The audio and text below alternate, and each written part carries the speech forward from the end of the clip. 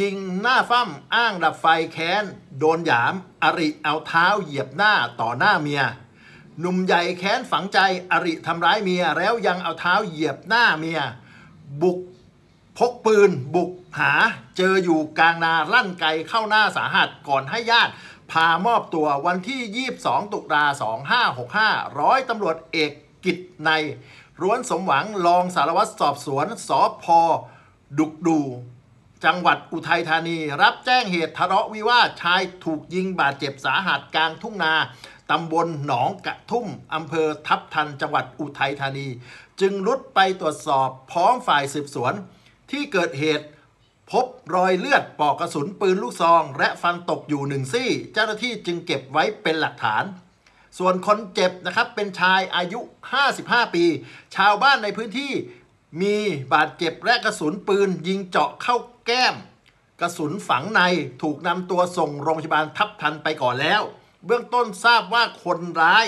คือนายสมบัติอายุ 55 ปี เป็นคนบ้านเดียวกันหลังก่อเหตุหนีกลับบ้านก่อนให้ญาติพาเข้ามอบตัว พร้อมของกลางก็คืออาวุธปืนลูกซองสั้นไทยประดิษฐ์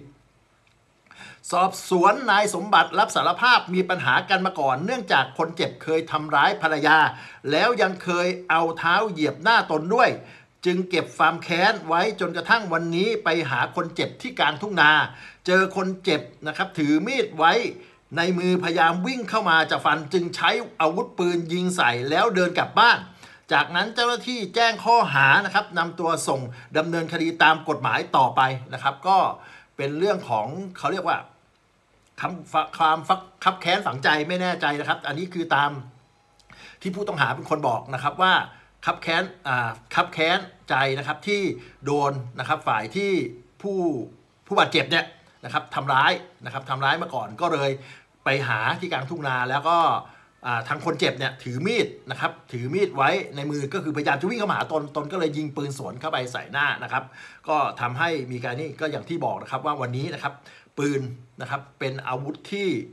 ถ้าเกิดคนที่มีครอบครองเนี่ยไม่ได้ใจเย็นหรือไม่ได้ควบคุมอารมณ์นี่ยก็อาจจะเกิดเหตุเศร้าสลดแบบนี้ได้นะครับ ก็อยากให้ทุกคนใจเย็นๆมีอะไรก็พูดจากันดีๆนะครับ ไม่อยากให้เกิดเหตุเศร้าสลดแบบนี้นะครับ มีอะไรคืบหน้า มีข่าวอะไรคืบหน้าเดี๋ยวจะอัปเดตให้ฟังเรื่อยๆครับผม